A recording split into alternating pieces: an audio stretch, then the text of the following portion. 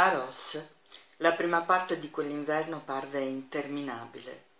Per giorni e giorni nebbie fitte riempirono la valle, a tal punto che i, che i muri di Nampara House si coprirono di condensa e le acque del torrente si gonfiarono, giallastre.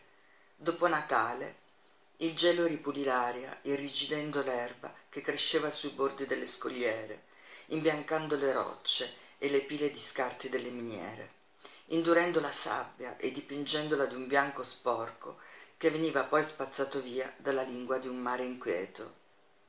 Solo Verity andò a trovarlo spesso. Era il suo contatto con il resto della famiglia e gli offriva pettegolezzi e compagnia. Insieme camminavano per miglia e miglia, talvolta sotto la pioggia, lungo le scogliere, quando il cielo si riempiva di nubi basse e il mare era grigio e triste come un amante abbandonato talvolta lungo la riva, con le onde che arrivavano impetuose, nebbie iridescenti che si alzavano dai frutti spezzati.